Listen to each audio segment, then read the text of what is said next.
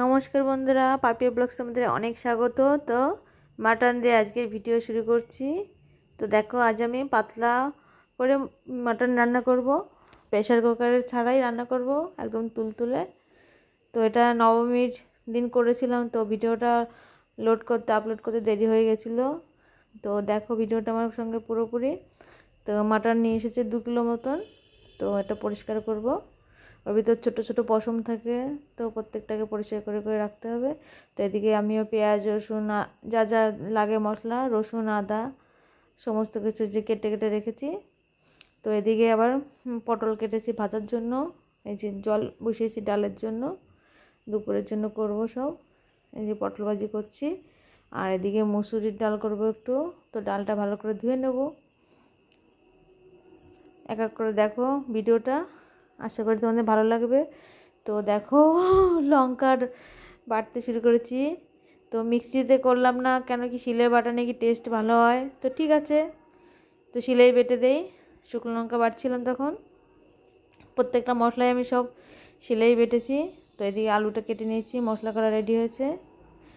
আর মাটনের ঝোলটা আমাদের বাড়িতে না, কষা খুব পছন্দ করে না। পাতলা ঝোল হলে সেটাই পছন্দ করে। তো আমি পাতলা ঝোলই করব মাটনের তো মাটনটা ধোয়া শুরু করে দিয়েছি। পশম টসম যা ছিল সব পরিষ্কার করেছি। তো ভালো করে পরিষ্কার করে সব ধুয়ে নিচ্ছি মাংসটা। তো দেখো ভিডিওটা।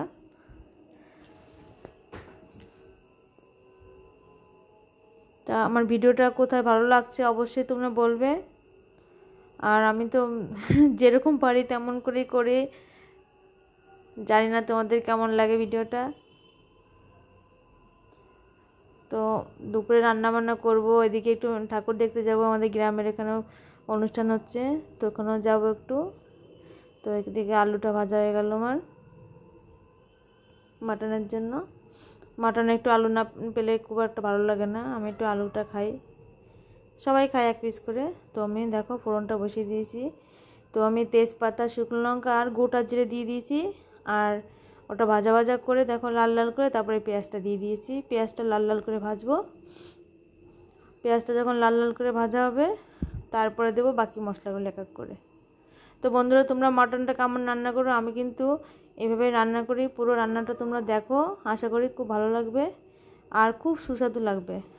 তো দেখ, আলুটা ভেজে রেখে দিয়েছি, মাটনটা ধুয়ে রেখে দিয়েছি, পুরো ক্লিন করে রেখেছি, দেখো। তো এদিকে দেখো আমার পেঁয়াজটা প্রায় ভাজা ভাজা হয়ে এসেছে, এবার মশলাটা দিয়ে দিচ্ছি যে ছিলে বেটেছিলাম মশলাটা। এখানে আছে পেঁয়াজ পেঁয়াজ, পেঁয়াজটা ভাজা ছিল। আর রসুন, আদা আর শুকনো লঙ্কা দিয়েছি। আর এখানে এর সঙ্গে অ্যাড করব বাকি মশলাগুলো। তো দেখো ভিডিওটা আস্তে আস্তে করে সব। পুরো ভিডিওটা দেখো বন্ধুরা স্কিপ করে যেও না। পুরো ফুল ওয়াশ করে দেখো ভিডিওটা। আর বাটি ধোয়া জলটা দিয়ে দিচ্ছি। তো এই মাটনটা রান্না করতে একটু সময় লাগে। যেহেতু কুকারে দেবো না আমি আমি আস্তে আস্তে অল্প জালে, গরম জল দিয়ে দিই তো দেখো, ভিডিওটা পরপর দেখতে থাকো। তো দেখো, গোটা জিরে জিরে পাউডার দিচ্ছি আমি। বাকি মশলাগুলো এক এক করে দেবো। এবার দেবো লঙ্কার গুঁড়ি দেবো একটু কালারের জন্য।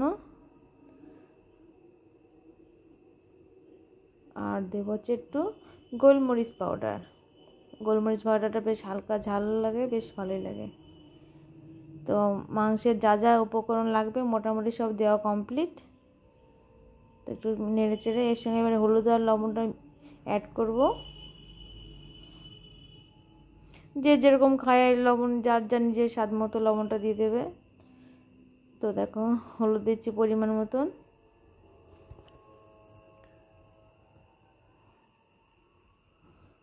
আর এবার দেবো লবণ অ্যাড করব। তো লবণ যে যার স্বাদ মতো খেতে পারো সেভাবে দেবে। এটা তো আন্দাজ করা যায় না, একটু চেকে দেখতে হয় মাঝে মধ্যে। তো মোটামুটি সব কিছু দেওয়া কমপ্লিট এবার মাটনটা দিয়ে দেবো। তো মাটনটা দিয়ে দিচ্ছি। মাটনটা খুব সুন্দর ছিল।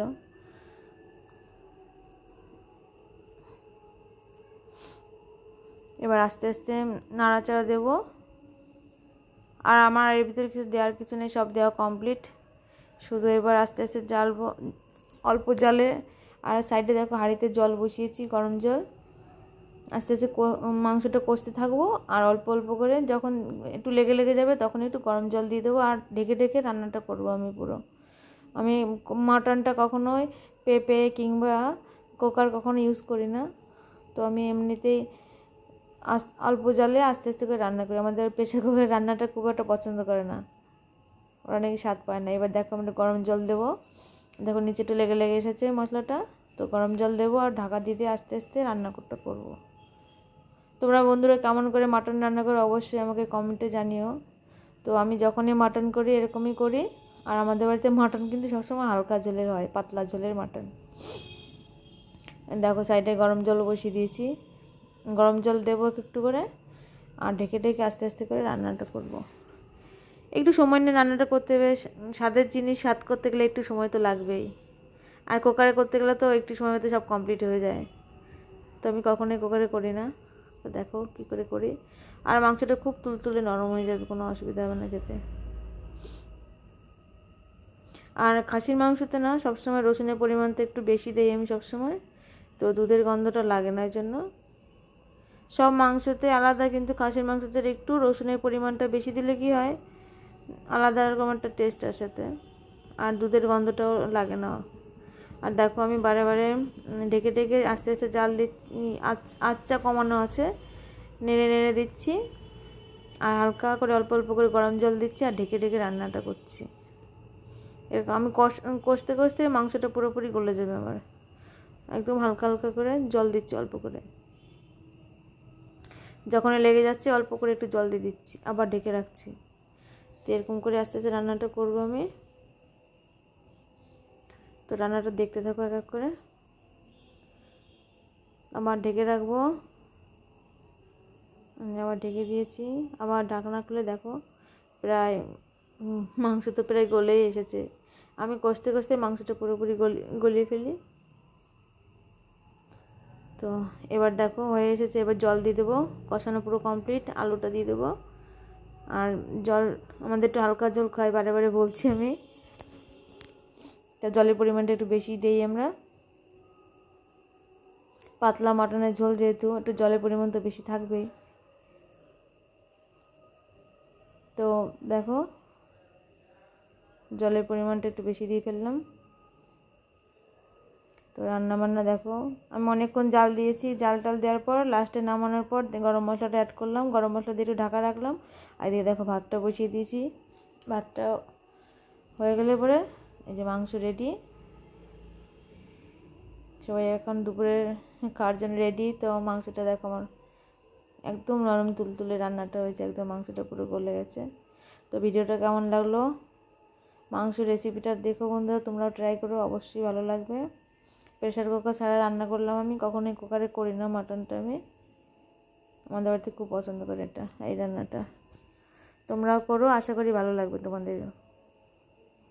তো দুপুরে আমাদের ডাল হলো পটল ভাজি আর মাটন করেছিলাম। তো মেলার জন্য সব রেডি খাওয়া দাওয়া করে রাতের দিকে, দেখো। আমার মেয়ে, ওর পিসিকে নিয়ে দেখো।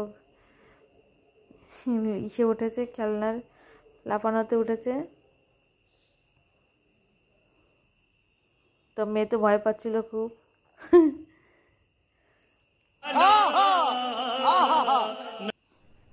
আরে কেনা চাতে বেটা।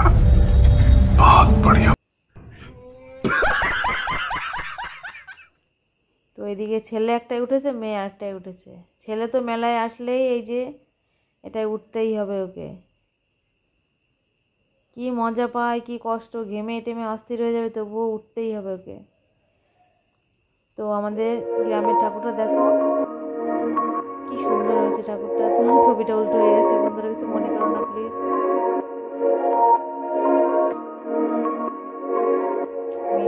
বুঝতে তো দেখো, মেলায় ঘুরছিলাম একটু। কি সুন্দর কানের দুল ছিল মেলাতে। তো যা যা করলাম, তোমাদের সঙ্গে মোটামুটি সব শেয়ার করলাম। বন্ধুরা, কেমন লাগল ভিডিওটা অবশ্যই বলবে। তো কিছু ছবি তোমাদের সঙ্গে শেয়ার করলাম, দেখো, আমরা ঠাকুর দেখতে গিয়েছিলাম। তো বন্ধুরা, আমার ভিডিওটা কেমন লাগল অবশ্যই পাশে থাকবে সাবস্ক্রাইব করবে, আর সব কমেন্ট করবে লাইক করবে, আর পাশে থাকবে। বাই